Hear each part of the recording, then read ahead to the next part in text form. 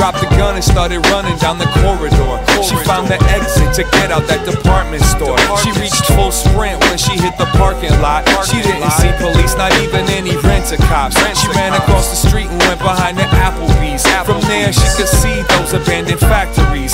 Figured there's a good place for her to hide away. Knowing she could climb inside through the fire escape. At this point, still felt like a dream. In her head, she could still hear the little kid screaming. Up against the dumpster to find some breath. She could hear the sirens. Now it's time to step. Running through the alleyway, now relentless.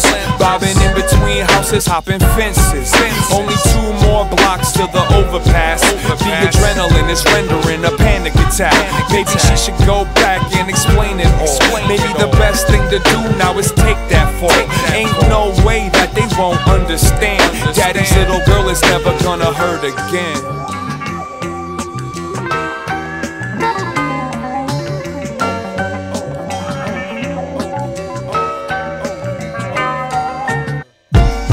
She can't believe that she's having this dilemma.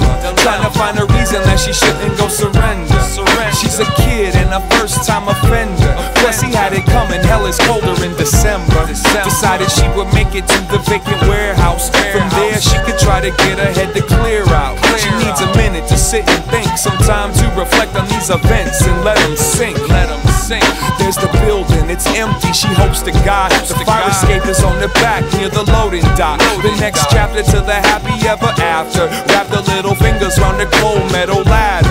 Started climbing, that's when she heard the officer. Millie, turn yourself in now, girl, come down from there. She tried to look over her shoulder, lost balance, fell four stories, it was over.